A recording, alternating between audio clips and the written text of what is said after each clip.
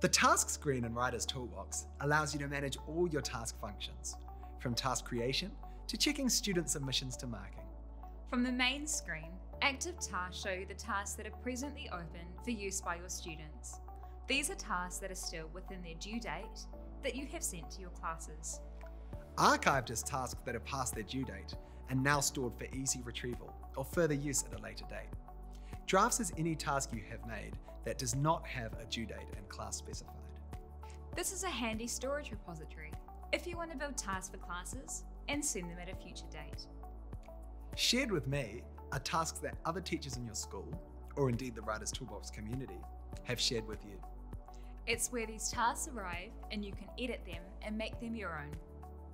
Each of these screens can be managed through the menu options, with powerful search functionality that allows rapid retrieval of any task. Clicking on any task gives you the full access to all the information about the task and the individual task management. You can see the task details, share with other teachers, send to additional classes, or review student submissions and start the marking process. Finally, using the three dot menu, you can duplicate any task, allowing you to rapidly build additional tasks based on your favourite combinations. At any stage, you can return to the main dashboard or back to the active task screen.